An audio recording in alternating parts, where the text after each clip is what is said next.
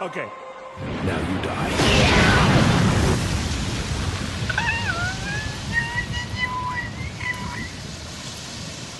Ain't this a bitch?